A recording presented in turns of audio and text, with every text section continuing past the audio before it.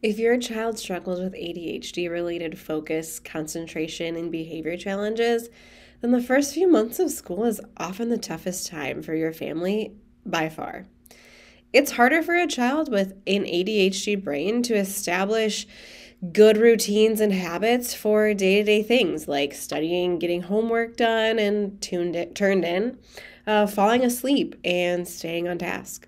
So, as the weeks pile up and we start to get into the thick of the school year here, things can really start to get tough with poor grades, behavior problems, and more.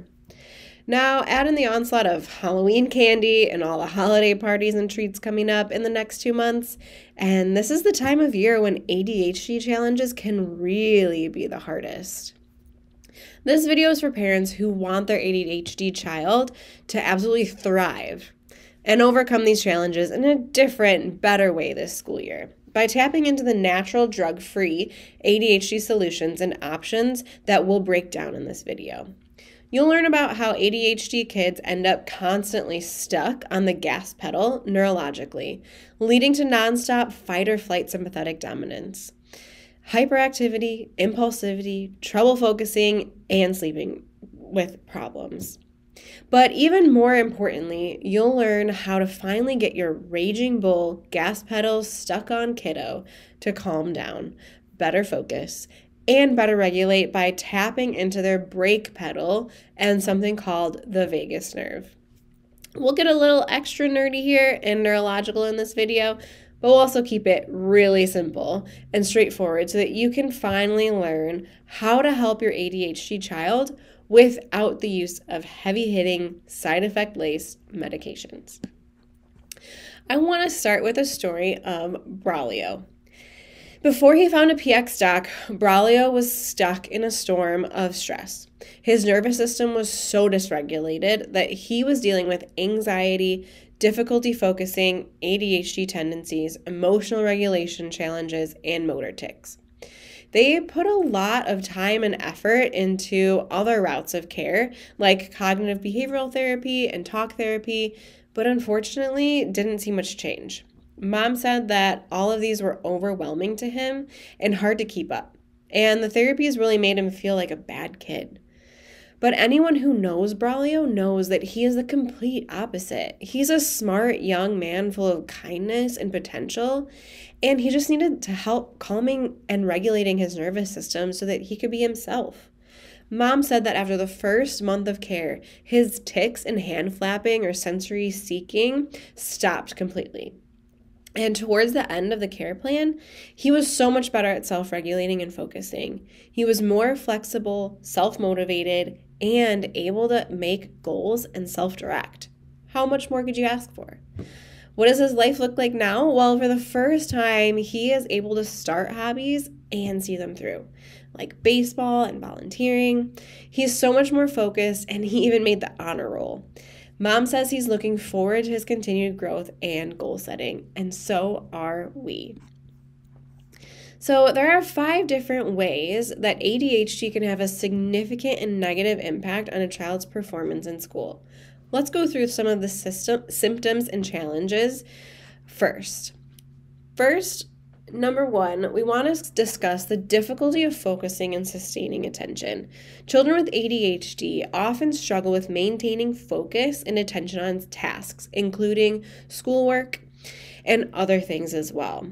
An overactive sympathetic nervous system can exacerbate this issue, leading to increased distractibility. In a classroom setting, they may find it challenging to concentrate on lessons leading to missed instructions and difficulty completing assignments. Number two, there's a big impulsivity and impaired decision making factor. Sympathetic dominance can contribute to impulsive behavior. Children with ADHD may act on their impulses without considering the consequences. And in a school environment, this can manifest as speaking out of turn, disruptive behavior, or difficulty following classroom rules all of which can hinder their learning and disrupt the learning experience of others. The third thing is restlessness and hyperactivity. Some children with ADHD exhibit hyperactivity, which can be exacerbated by an overactive sympathetic nervous system. They may have difficulty sitting still for extended periods, leading to restlessness and fidgeting in the classroom. This restless behavior can make it challenging for them to engage in quiet, focused tasks such as reading or taking tests. The fourth symptom we usually see is poor time management and organization. So, children with ADHD often struggle with time management and organizational skills. An overactive sympathetic nervous system can make it even harder for them to plan, prioritize, and complete tasks within set timeframes. This can result in missed deadlines, forgotten assignments, and a sense of frustration and inadequacy in school. And as kids go through school and increase into the next grade level, those tasks and demands just become harder and harder. We see generally in kindergarten and third grade, these tasks really increase. And so those struggles become way more apparent at those age levels, but they can manifest at any age. The fifth symptom that we see is emotional dysregulation. An overactive sympathetic nervous system can contribute to emotional dysregulation, including heightened stress responses. Children with ADHD may be more prone to frustration, anxiety, and mood swings. In a school setting, these emotional challenges can lead to difficulties in managing frustration or handling peer interactions, potentially leading to behavioral problems or social difficulties. Now, let's talk through some of the causes, neurology, and how chiropractic connects to all of this. I told you this was going to be nerdy, but I promise we'll keep it simple. So, each different challenge is caused by the same thing. The most frustrating thing about ADHD is that it causes such a multitude of challenges in day to day life, most especially at school. But in the same breath, what is actually good news that we often get to share with parents is this it's all caused by the same thing an overactive and excessively stimulated sympathetic fight or flight side of the nervous system. When this stuck on sympathetic drive gas pedal and not being able to activate that brake pedal with the vagus nerve gets shut down, we refer to this side, um, that sympathetic side, as the gas pedal. We find that 90% of more of kids have had their brain and nervous system stuck in this way from the very beginning of life having developed during a stressful and highly emotional pregnancy, then birth interventions or even trauma such as forceps, vacuum, induction, or emergency C section births, and then went through early childhood challenges like colic, recurrent ear infections, frequent tantrums and meltdowns, difficulty sleeping, so forth. This also means that their parasympathetic or their brake pedal, which is really run by the vagus nerve, is shut down and suppressed and can't activate and do its job when the brain and nervous system really need to, need it to. These two systems can't work at the same time. So you can't have the brake pedal on while the gas is on as well. We all know driving, it doesn't work that way. It doesn't work that way in the body either. Here's the last point they do not grow out of it. All of those stressors and interventions during pregnancy and delivery are termed normal by the medical system, as are the early childhood stressors that most pediatricians still believe children will grow out of.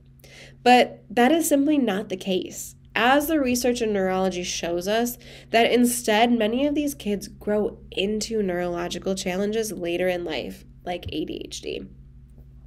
So, if your child is struggling big time right now as the school year turns into the holiday season and you do not want to medicate them or continue to just add higher dosages and different drugs, then learning more about neurologically focused chiropractic care that we provide at Generations Chiropractic is your best next step. We do not seek to treat or cure ADHD, but instead we tap into the incredible potential of your child's nervous system and seek to make neurologically focused adjustments that activate that brake pedal side of their brain and nervous system, helping finally turn down and shut off that constantly stuck on sympathetic fight or flight gas pedal that we've been talking about in this video. To learn more about drug-free options for ADHD and how to care how our care protocols work, please click the link below or in our bio to read the full in-depth article about ADHD, what really causes it and what drug-free options are out there to help.